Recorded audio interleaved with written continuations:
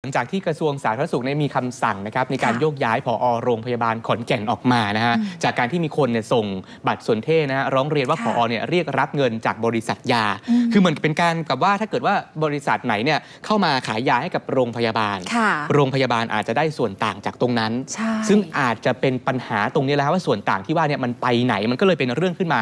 ล่าสุดนะฮะพอมันมีผอคนใหม่ก็ต้องมาแทนที่โรงพยาบาลขอนแก่นใช่ไหมคุณผู้ชม มันมีหนังสือราชการออกมาครับว่าเป็นการเกณฑ์ให้บุคลากรเนี่ยไปต้อนรับผอคนใหม่ ท่ามกลางนะฮะบรรยากาศที่เรียกว่ายังคุกรุ่นกันอยู่อะคือผอคนเก่าเนี่ยค่ะเพิ่งออกไปแล้วเขากำลังร้องไห้เสียใจกันได้ไม่นานเนยนะครับค่ะผอคนใหม่มามีหนังสือมาละ ว่าให้ไปต้อนรับผอคนใหม่นะครับเป็นบันทึกข้อความถึงนายแพทย์สาธารณสุขจังหวัดขอนแก่นครับให้เชิญผู้อำนวยการโรงพยาบาลชุมชนในจังหวัดขอนแก่น และก็บุคลากรในสังกัดเนี่ยแห่งละสองคน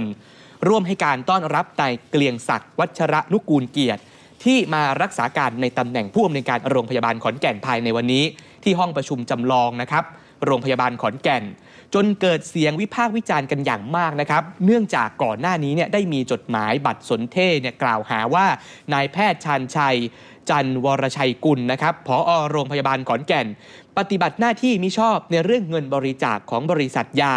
ทำให้ถูกต้นสังกัดก็คือกระทรวงสาธารณสุขเนี่ยโยกย้ายไปดำรงตำแหน่งกองบริหารการสาธารณสุขนะครับเมื่อวานนี้ทางเจ้าหน้าที่นะครับ หมอพยาบาลของโรงพยาบาลขอนแก่น ตั้งแถวกันเลยครับ คุณผู้ชมภาพในภาพอย่างที่เห็นนะฮะบรรยากาศเนี่ยก็คือ คึกคักอบอุ่นมากครับ ไปมอบดอกกุหลาบนะครับ ชูป้ายร้องเพลง ให้กำลังใจ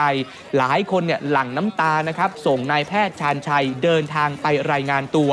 โดยนัดรวมตัวการร้องเพลงนะครับ ให้กำลังใจก่อนที่จะตั้งแถวจากหน้าบ้านพัก มอบดอกกุหลาบ ร้องเพลงแล้วก็เดินส่งให้กำลังใจค่ะนายแพทย์ชาญชัยนะครับจากหน้าบ้านพักจนถึงประตูทางออกของโรงพยาบาลระหว่างนั้นก็ร่วมกันร้องเพลงชูป้ายด้วยนะครับ ตะโกนให้กำลังใจแล้วก็ขอให้นายแพทย์ชาญชัยนั้นได้กลับมา ทางด้านนายแพทย์ชันชัยนะครับ กล่าวสั้นๆ ก่อนที่จะขึ้นรถออกไปนะครับ บอกว่าขอขอบคุณทุกคน โรงพยาบาลขอนแก่นและทุกคนนะครับจะอยู่ในใจเสมอ ขณะเดียวกันก็มีบุคลากรหลายคนนะครับถึงกับหลั่งน้ำตาร้องไห้เลยค่ะเพราะว่านายแพทย์ชันชัยก็ถือว่าเป็นที่รักของบุคลากรที่โรงพยาบาลขอนแก่นด้วยนะคะ แล้วคำสั่งมันออกมาแบบเนี้ยมันเหมือนกับว่ามันฟ้าผ่าเนี่ยนะคุณเนยค่ะใช่แล้วแล้วตอนนี้เนี่ยคือเรื่องนี้เนี่ยไปถึง นายอนุทินชาญวีรกูลนะฮะใช่ค่ะรัฐมนตรีว่าการกระทรวงสาธารณสุขครับ กล่าวถึงเรื่องนี้บอกว่าไม่ได้เป็นการกลั่นแกล้งกันนะครับ ทุกอย่างเนี่ยอยู่ในระเบียบแล้วก็ขั้นตอนของการสอบสวน เชื่อว่าเรื่องนี้นะครับจะไม่มีการบานปลายฟังเสียงกันหน่อยครับมันที่นี่ไม่มีใครกลันแกล้งใครได้อยู่แล้วก็รู้หมอทั้งนั้นใช่ไหมทุกคนเป็นมันสมองระดับประเทศทั้งนั้นมันไม่มีใครกล้าแกล้งใครหรอกนะ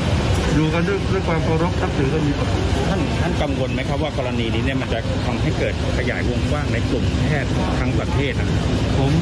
ผมเชื่อว่าถ้าเราเอาข้อเท็จจริงออกมาวางกัน ซึ่งเราก็จะมีกรรมการตรวจสอบเยอะแยะไปหมด มีข้อมูลเยอะแยะ มีกฎระเบียบนะ เป็นบรรทัดฐานอยู่เอ่อคงไม่มีปัญหา ทุกทุกอย่างว่าไปตามกฎระเบียบนะครับ นะฮะเอ่ออย่าลืมนะคณะกรรมการนี้เสร็จแล้วต้องรายงานทำรายงานขึ้นมาตามลำดับชั้นเดี๋ยวมีไอ้อะไรนะพอพอรอของกระทรวงมีอะไรอีกเยอะแยะไปหมดแล้วถ้าเกิดมันมีอะไรไม่ไม่ไม่ไม่ดูไม่ชอบมาพากลผมก็ยังมีรัฐมนตรีที่เฝ้ากระทรวงอยู่ ซึ่งก็ก็ต้องดูแต่จะไม่เกิดเป็นรอยร้าวในกระทรวงนะครับตอนนี้มันไม่มันไม่น่าจะเป็นรอยร้าวในกระทรวงอะไรนะ ครับและสืบเนื่องจากการสั่งย้ายฟ้าผ่าแบบนี้นะคะ ก็ได้มีบุคลากรทางการแพทย์ทั้งแพทย์และพยาบาล ก็ออกมาเคลื่อนไหวกันในเรื่องนี้ด้วย รวมถึงที่โรงพยาบาลกำมลาไสยจังหวัดกาลสินค่ะทั้งแพทย์พยาบาลบุคลากร ออกมารวมตัวกันร้องเพลง ความฝันอันสูงสุดพร้อมทั้งถือป้ายด้วยนะคะเซฟธรรมาพิบาลเขาว่าว่าอย่างนี้ เดี๋ยวเราไปชมภาพบรรยากาศกันค่ะเ